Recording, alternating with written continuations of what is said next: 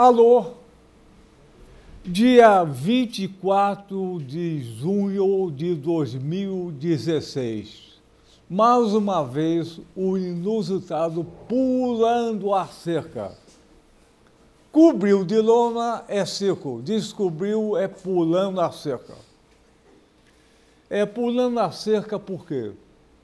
Pular cerca por cima, pelo meio, ou embaixo, a gente vê o outro lado. E o outro lado não tem sacanagem, não tem corrupção, tem saúde, justiça. Bom, o nosso programa não tem pauta, não tem roteiro, muito menos censura. É como a vida. A vida é assim.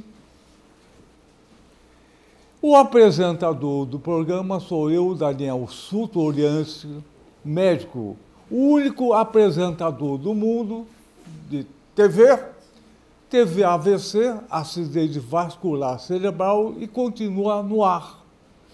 O AVC é a doença que mais mata no Brasil e no mundo. Então, eu estou pulando a cerca.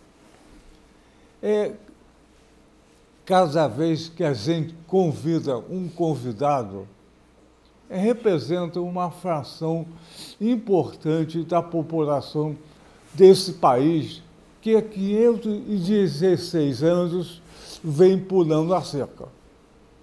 Então, vamos convidar a simpaticíssima, a cultíssima, gostosíssima, tesudíssima, a psicóloga Ceci, psicóloga Ceci Loman.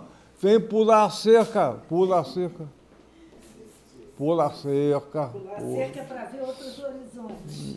Senta aqui. Bom dia, boa tarde, boa noite, que programa repete. E o nosso grande amigo, o maior advogado vivo do país, que se chama doutor Modesto da Silveira, simpaticíssimo, educadíssimo, cultivo, gostosíssimo. Quanta honra, meu caro. Isso. Bom dia, prazer em rever você. Bom dia, boa tarde, boa noite. Então, pega o microfone, manda, pega o microfone. Até aqui. Aqui. Isso. Olha só. Hoje é dia de São João. Vamos, vamos pular fogueira. Em vez de pular cerca. É, pular fogueira para pular cerca. É hoje de São João. E uma no- notícia inusitada. A, o, a Inglaterra saiu daquela confusão da Europa por votação. Não foi imposição, foi votação da população. Mas o nosso tema de hoje é um tema super abrangente. Pelo menos metade da população no mundo tem a ver. O nosso tema é mulher. Mulher. Mulher no presente, no passado, talvez no futuro, a, no- a nossa visão. Vamos começar pelo modesto. Opa, quanto prazer. Mulher, modesto. Olha, eu começo discordando de você. Na, mulher não é quase metade da população do mundo, não. É metade mais um ou dois. É 52% quase de população da mulher. Portanto, é a maioria. Né? Esmagadora. E olha, eu diria, se esse mundo não tivesse mulher, eu não gostaria de viver nele, não. Com toda a diferença, e por mais que haja diferença, graças a Deus tem diferença, não é? Mas olha, a população do mundo hoje está em s- um pouco mais de 7 bilhões, indo para 4 bilhões de mulheres, e sem elas o mundo nem existiria, não existiria porque não haveria reprodução do ser humano, né? Então é da maior importância. E, e nós ainda, nós somos menos jovens, nos lembramos. Cici, então, como estudiosa e intelectual, saberá mais do que a gente. mas a gente se lembra de como a mulher era menosprezada não há muitos anos. Essa luta pela igualdade, que foi muito justa, bonita, parece estar razoavelmente conseguido. Nós esperamos até que no embalo ele não passe muito à frente, convém manter o equilíbrio de igualdade, né? Senão aí os homens é que vão começar com a sua campanha de igualdade. Mas foi muito bom, muito justo. Hoje eu creio que você se dirá melhor do que eu, porque ela é mulher, ela dirá se se sente igual ou se faltam alguns reajustes a fazer. O que, que você acha? Há algum reajuste a fazer dessa luta pela igualdade entre os seres humanos na questão do sexo, que tem muitas outras igualdades. A pior delas é a da miséria, da pobreza do pobre, né? Essa é então, a economia, e a economia liga a cultura, o sexo, a cor, tem tanta coisa. Mas esta mulher, o que, que você nos diz? Olha só, eu sou mulher, então eu vim aqui representar a mulher. Né? Eu acho que uma coisa que deveria ser respeitada é a questão do gênero, da, do gênero, mas da diferença, da diferenciação entre as pessoas, não é só entre os gêneros que eu queria falar. Quando né? eu falei diferença, não foi entre as pessoas, sim a diferença entre o, o macho e a fêmea. Isso. Graças a Deus tem a diferença. Isso, isso também tem que ser respeitado. Porque, infelizmente, bom, como eu pulei a cerca, aqui, eu sou uma pessoa que me considero pulando a cerca, posso, né? Porque eu, é, eu, eu não posso representar as mulheres todas. Como estudiosa, sim, porque eu tive o privilégio de nascer numa família que a posição da mulher já era diferente, né? A, a, a posição da mulher era, era respeitada e eu tinha uma mãe muito forte tudo. Mas a gente sabe que até hoje, eu acho, Modesto, até hoje as mulheres ainda são massacradas. Aqui no Brasil, não precisa falar de África nem nada disso, as mulheres, no, até em meios econômicos melhores, né? Eu acho que a mulher é massacrada, é desrespeitada, tem uma dupla como se, jornada, né? Porque mais do que o homem. Eu acho que o homem atual, o jovem, ele já está assumindo mais, né? Já está participando mais.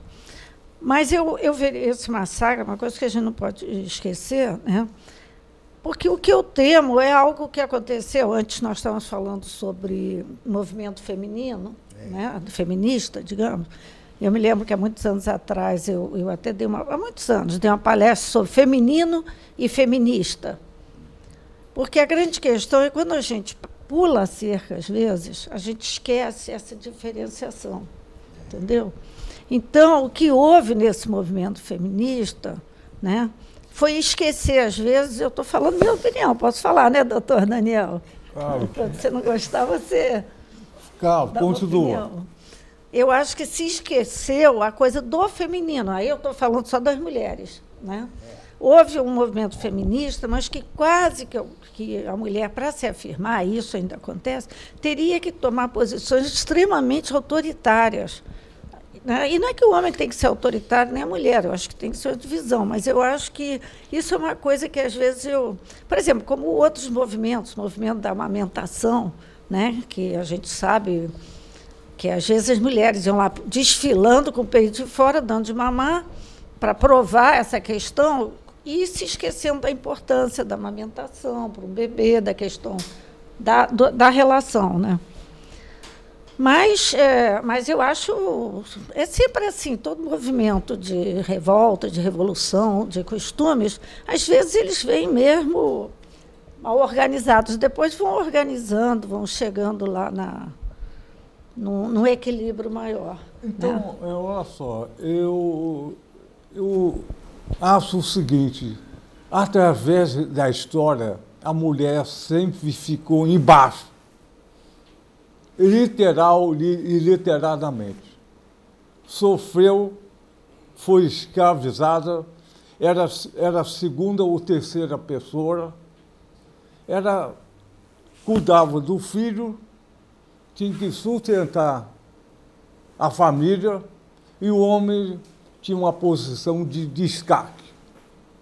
Tradicionalmente. Domínio, né? É, então, hoje, vou dar um pequeno exemplo.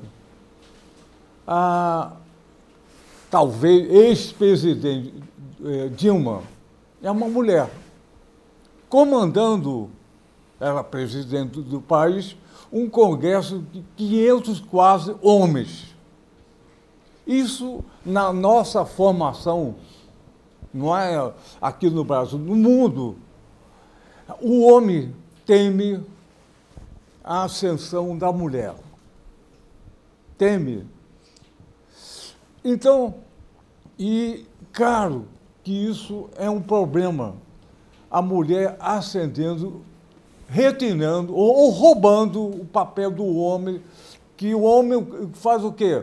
O homem faz a guerra, faz a economia, toma conta das grandes empresas e a mulher continua no papel secundário.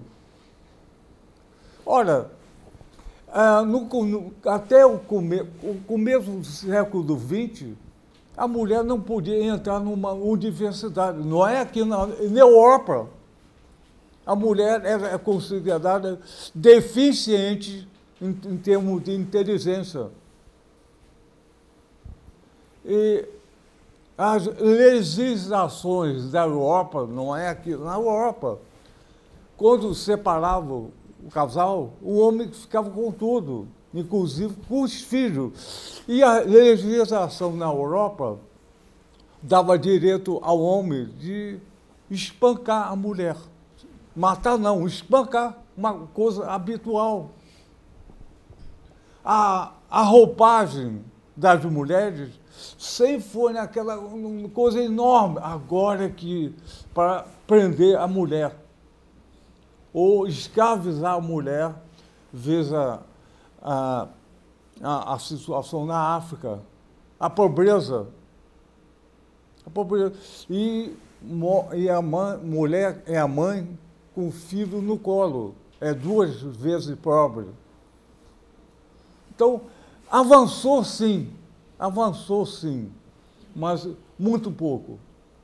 Então, que, que aqui no Brasil se criou uma lei que 20% dos partidos políticos teriam que ser de uma mulher. Tem que inventar uma lei para a mulher ascender no Congresso. Só 20%? Só 20% teria, seria não, possível a presença não, de pelo, mulheres. Pelo menos 20%. Então tem que inventar as coisas. Entendi. Então, olha só. E normalmente aqui no Brasil, ou pelo menos na América do Sul, o salário da mulher é inferior ao do homem. Tem alguma uh, diferença de apreciação do que você diz? Gostaria depois de ouvir também a opinião da Cici. Eu gostaria muito que as coisas se realizassem com tal espontaneidade que não haveria nem percentual de nada, nem ele surgisse de maneira espontânea. Homem e mulher, na questão intelectual, etc., não tem diferença. Não tem. Logo, logo deve ver-se até meio a meio de maneira espontânea, mais ou menos. Por exemplo, eu e muitos homens, eu prefiro sobretudo nessa etapa histórica, que as mulheres liderem. Liderem até Sim. congresso e tudo isso, uh, por várias razões. Por várias razões, eu torço até. E não só para as mulheres dirigirem no Brasil, como em outro lugar, mas de forma espontânea, sem essa preocupação de sexo de tal maneira que o sexo só fosse visto como uma coisa boa, agradável. Essa diferença que eu, a que eu me referi no começo, não sei se foi entendido, do macho e da fêmea. Essa diferença, viva essa diferença, que é a coisa boa dela, é a coisa melhor que tem. E eu acho que deve haver essa diferença, sem a qual a humanidade nem existiria. De qualquer modo, eu volto a dizer, acho que estamos chegando a uma igualdade melhor em termos de é, respeito à igualdade de direitos e deveres, né? e respeitando também até uma realidade física ah, até mesmo de musculatura. O macho, como em geral sempre teve um pouquinho mais de musculatura do que a fêmea, ele se colocou abusivamente como ordenador. Com exceções, houve culturas, né? Se você estudar a geografia da cultura, a cultura da geografia, você vai ver, houve também algumas culturas, algumas, algumas poucas, ah, poucas, em que a mulher é que mandava, né? Houve, aqui, aqui no Brasil ainda tem hoje, tem algumas tribos aí em que o líder é a mulher. Um garoto um jovem é doido para casar com a mulher quanto mais velha, porque quanto mais velha, mais, uh, mais autoridade ela tem.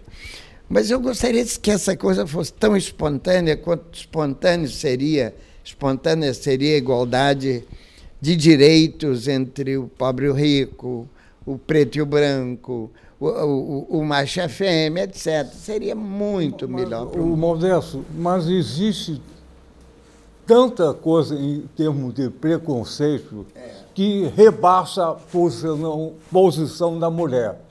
O homem pula cerca.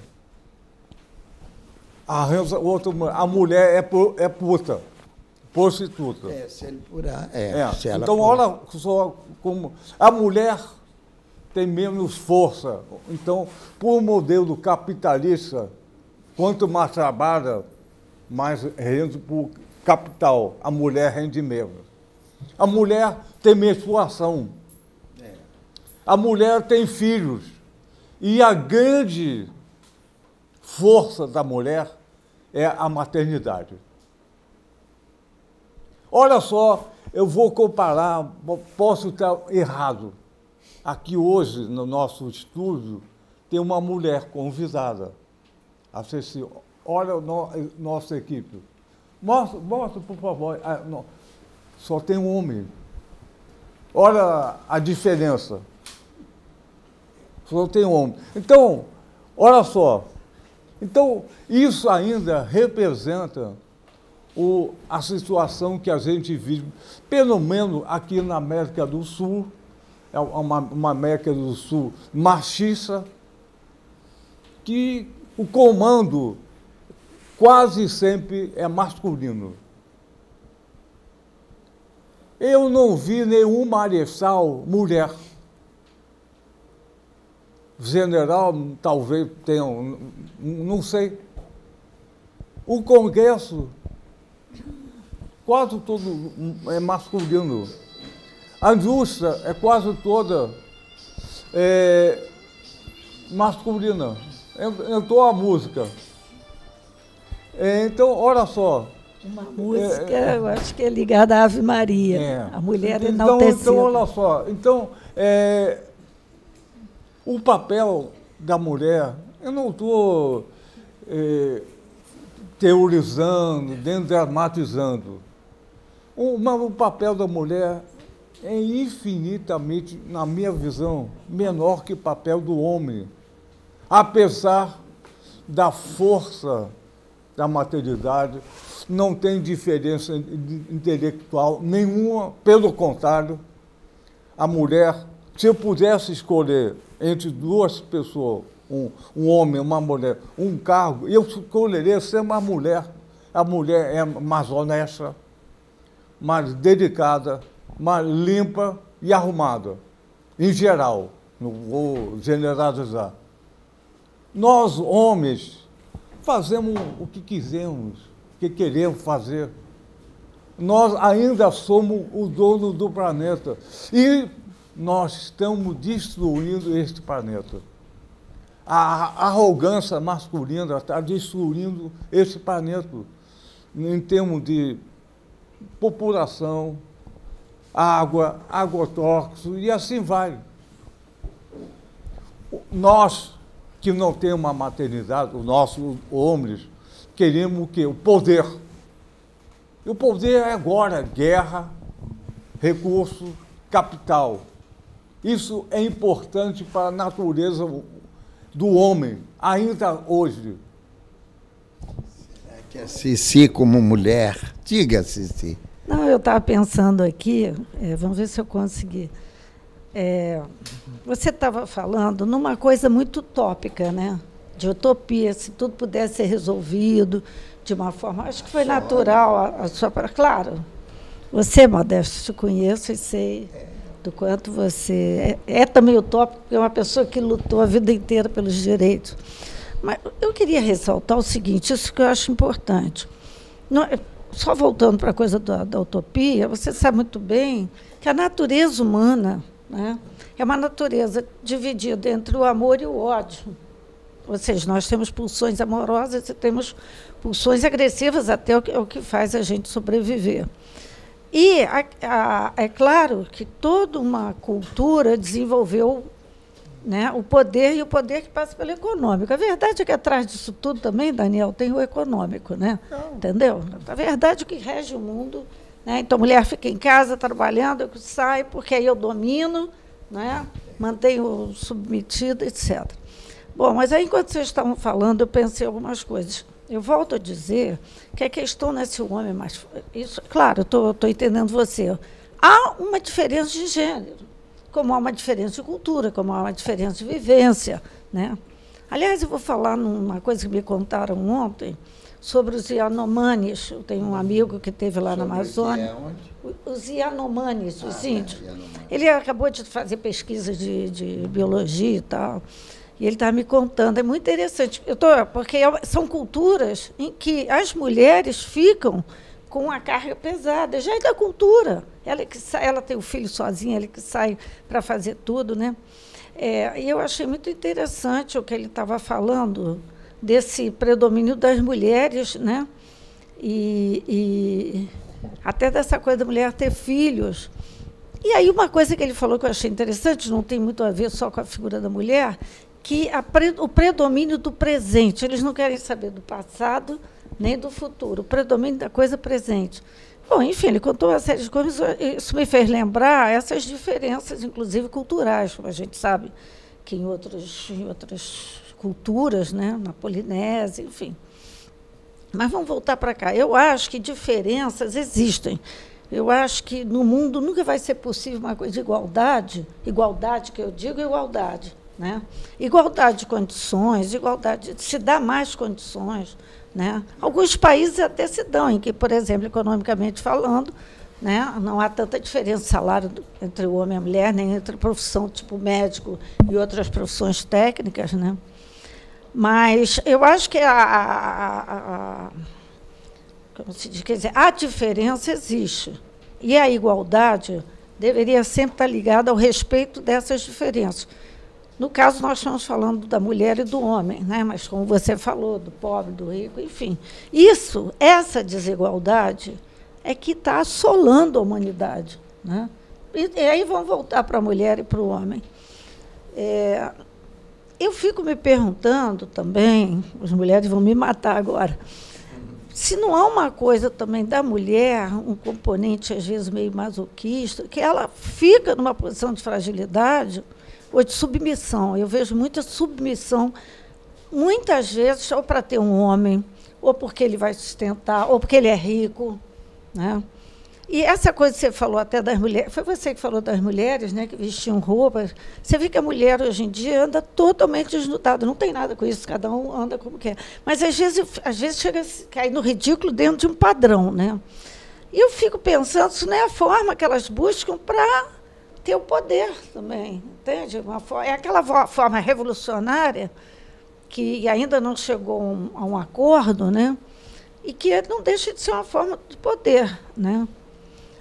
Bom, aí eu tinha pensado outras coisas, mas a gente segue. Agora há muitas, há um predomínio de mulheres nas universidades, em algumas profissões, né? Mas também num, numa camada é, que tem possibilidades de Sim, acho que a gente tem que discutir muito, estudar muito essa questão, para não haver deturpações do nosso sonho, da nossa utopia, que queremos converter em utopia. Né?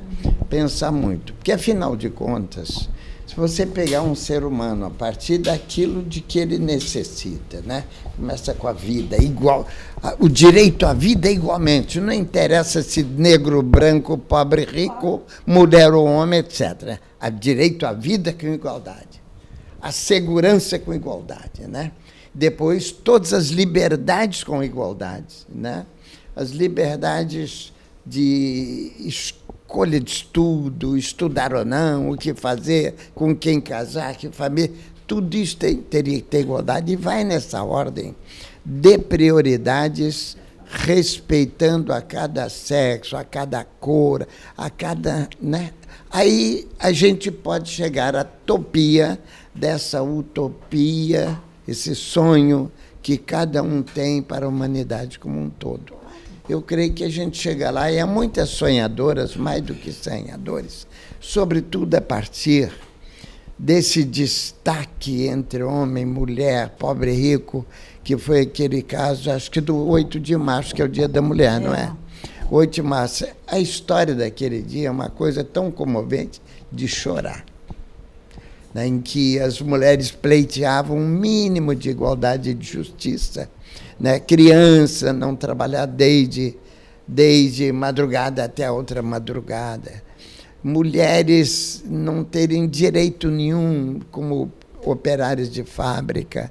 E quando elas se revoltaram e tentaram, inclusive, fazer uma greve, pleiteando um mínimo de humanismo, redução naquela época de pelo menos para 12 horas de trabalho por dia, 10 horas. Essa luta histórica e geográfica fez com que os patrões incendiassem as mulheres em greve dentro da fábrica, e aí se tornou o famoso dia 8 de março Dia da Mulher, uhum. porque ela foi incendiada viva, porque pleiteava um mínimo de justiça então, para a mulher. Modesto, vamos voltar ao dia 8 de maio. É.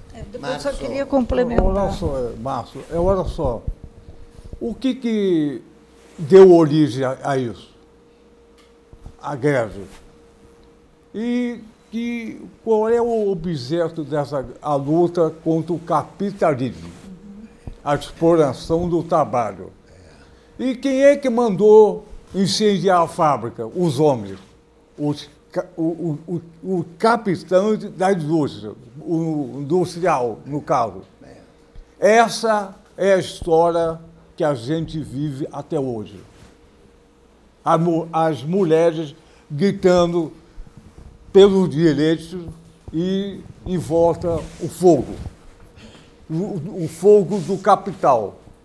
O capital rege hoje esse planeta. Não é utopia, é utopia, é real. E o capital exige trabalho, força e estupidez para usar o braço e o corpo, a cabeça não. Quando a cabeça começa a funcionar, entra o fogo, fogo da, da repressão. Isso é aqui no mundo todo. É igual. No mundo individualista ou capitalista. Não, no mundo em geral, no não. No mundo todo, esse, esse modelo está funcionando. Aonde não, não tem o, o, o capital funcionando? Para gerar, gerar produto e riqueza. Para gerar produto e riqueza, tem que explorar alguém. Mas tem que ver que nem todo país é individualista ou capitalista. Isso é típico do capitalismo. Não. Um país humanizado ou socializado tem poucos, esses têm uma ação bem diferente, Sim, bem mais amena. Mas qualquer país precisa da produção. Ah, isso sim. E usar as pessoas. Pode ser um pouco mal humanizado ou não, mas o, o caminho é semelhante. É semelhante. E, e quando o homem, homem, homem ou mulher consegue adquirir alguma coisa, ele quer mais. Quem quer mais? O empregado, o empregado quer mais, o empregador também quer mais. Essa é a natureza humana. Nós sempre queremos a diversidade, queremos mais. Tanto de um lado ou outro. Esse, me parece, que essa é a base do modelo do capitalismo. Todo mundo quer mais. Veja hoje no Brasil. Hoje todo mundo possui um celular, televisão e assim vai. Avançou. Mas o capital avançou muito mais. O banqueiro e assim vai. Então, essa diferença, eu posso ter errado, vai continuar sempre nesse modelo. Todo, exploração. Você quer mais, você quer mais é, é, cultura, quer mais vida, quer mais.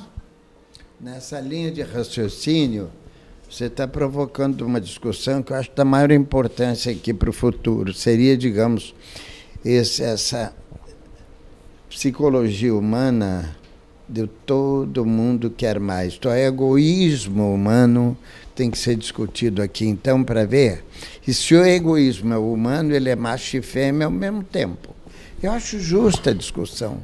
Podemos até fazer um debate desse no futuro. Eu acho que a gente né? podia porque voltar o ego... tema mulher que, dentro desse é, aspecto. Porque o ser humano, sendo egoísta, o que nós teríamos é que disciplinar esse egoísmo ou convencer a todo mundo de que o ego não pode esquecer o outro, portanto, vamos marchar para o eco, para a igualdade entre todos os seres humanos e respeito até os demais seres, porque, afinal de contas, o, se o ser humano é egoísta, ele quer concentrar nele tudo que há de bom e de melhor que ele ache, né? inclusive a riqueza.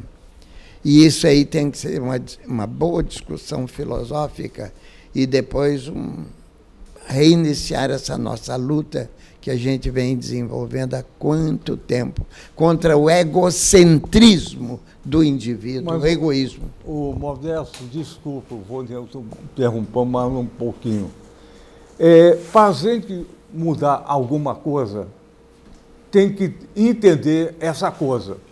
Tem que começar na base.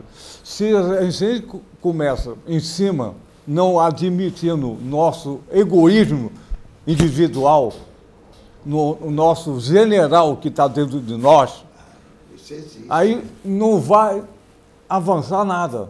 Começa com a gente. Quem é que não, não, não tem inveja, nunca teve inveja, raiva, gratidão, egoísmo? humanos. Claro, isso é o homem. Senão, senão nós seríamos girafa ou elefante. Isso é o homem, é o, esse sentimento primitivo. Se a gente não começar por isso, não vai adiantar nada. Então, Daniel, vamos, vamos voltar para a questão da mulher. Por conta disso, já houve toda uma cultura né? É, de que a mulher fica em segundo plano mesmo, claro, ou então, que a mulher vale menos. É como você falou, se ela atrai, é puta. Né? Se ela quer mais trabalho, está abandonando o filho. Essas, essas coisas, mas não é isso aí, são, são padrões. Mas eu acho que é por isso que a mulher sempre ficou escravizada, submissa. E isso é possível ter até criado uma cultura pessoal, claro, como tudo, de que é isso, eu sou escravizada, eu, sou, eu vou ser submetida. Está entendendo o que eu quero dizer? Sim, mas na, na Europa, por exemplo, a mulher até XIX, século XIX, era, era praticamente analfabeto, não, não podia aprender a ler e escrever. Nem é que podia votar há pouco tempo. Então, né? então olha só. O, Mas... o Brasil eh, fez a votação feminina antes da França. É. Olha, tá até bom. aquele filme, olha, né? Olha, então, toda a repressão em cima da, da mulher existiu. Eu estou falando da Europa, não estou falando do Brasil, que era, é o, a, é Portugal tu trouxe o que ia de pior para cá. E vinha para o Brasil as prostitutas de Portugal. Tá bom, a nossa cultura é complicada, estou falando da Europa. Todo o meio de repressão à, à, à figura da mulher existiu e ainda existe. Existe. Tanto que aqui no Brasil se criou a lei Maria da Penha. Por quê? Isso mostra a total diferença. Uma lei de proteção à mulher. Maria da Penha, a pessoa não pode ir, o homem. Então, olha só, ainda nós estamos primitivamente andando, mas estamos andando. E olha só, o melhor de tudo que a gente está conseguindo falar sobre isso na televisão. Mas olha só, porque já que eu fui a, a convidada, né, eu estou achando o papo interessante. Eu tenho meu lado também utópico, entendeu? Eu tenho um lado, uma ideia de que eu, por exemplo, eu queria aproveitar esse espaço que é limitado no sentido da gente expor, né? E é limitado porque eu tenho, sou uma pessoa, uma mulher com peculiaridades, tem outra com outras peculiaridades, tem o meio ambiente, etc. Mas eu acho que se as mulheres puderem refletir, pensar um pouco, né, sobre si mesmas, o que, que elas podem fazer para não é, não é deixar de se submeter, entendeu? Como? Fazerem. Não, porque há submissão imposta. O problema é o seguinte: não é só a submissão do domínio do homem. Eu quero voltar a falar isso, que a diferença, ela existe. Entendeu? Porque não adianta, o homem tem toda uma formação característica né, biológica e a mulher outra. O problema é quando essa. Eu estou falando isso, é o que se vê mais, quando essa questão um quer engolir. Agora as mulheres às vezes querem engolir os homens, está entendendo? E estou falando em algumas classes. Agora, como que a mulher. A mulher ela é submetida concretamente, algumas mais, outras menos. Né? Eu vejo mulheres, até mais ou menos do meu, do, da, da minha vivência, que dizem, eu vou perguntar ao meu marido se eu posso. Isso é dominação. Né? Eu não estou falando nem da dominação masculina só, mas, mas as mulheres podem começar a pensar. Não estou falando, eu acho que a educação poderia ajudar muito, tem que ser de baixo para cima. Já tem escolas né, que, que, tratam mais do coletivo, percebe? Tudo é feito coletivo, vão ajudar o colega que não sabe ler. Mas, é, mas eu acho que há uma coisa que a MIT impõe também, percebe que interessa, né? A MIT impõe a questão da submissão. Você acha que uma mulher que fica só preocupada, porque aí não é só o homem, não, a postura da submissão. Não estou dizendo que o homem também não fica, mas a mulher parece que tem mais preocupação né, com questões de físicas, de roupa, tem que ser bonita, não pode ficar velha. Enfim, cada um é cada um. Isso é uma forma de domínio do consumo do, do, do capitalismo. Eu acho que algumas questões, e vejo, vejo, gente, eu, eu trabalho, inclusive, né, com isso, da, da, daquela questão. Não deixa estar como, porque está melhor assim do que fazer mudanças. Né? Eu só quero dizer que eu acho que essa coisa da. O que, que foi, Daniel? Está ah, dando para entender? Bom, é. Eu acho que essa questão da, da, da. Se a gente pensar, a base para mim é o seguinte: se a gente pensar que as diferenças existem, a gente pode ser muito mais livre Entendeu? As diferenças existem e pode se tornar muito mais As igualitário. Não estou falando só da mulher com o homem, não. Né? É. Eu estou falando do, do, do, rico com o pobre. Né? É. E acho, eu acredito, aí eu vou puxar, eu, eu posso, eu estou aqui, eu tenho que, de certa maneira, sem arrogância nenhuma, porque arrogância não existe no meu vocabulário. Né? Eu sou uma pessoa que tive uma formação igualitária desde jovem, desde criança.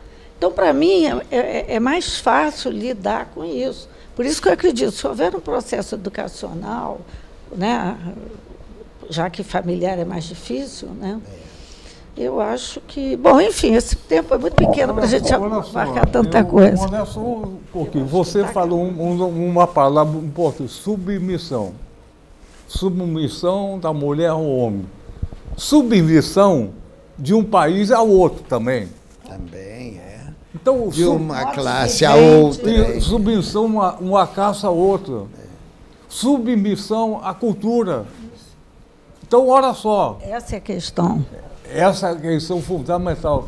E o modelo capitalista usa o quê? A submissão. Pela força, pelo E, Daniel, aquilo consumo, fica incorporado, entendeu? Pelo consumo, pela cultura, pela mídia. Submissão.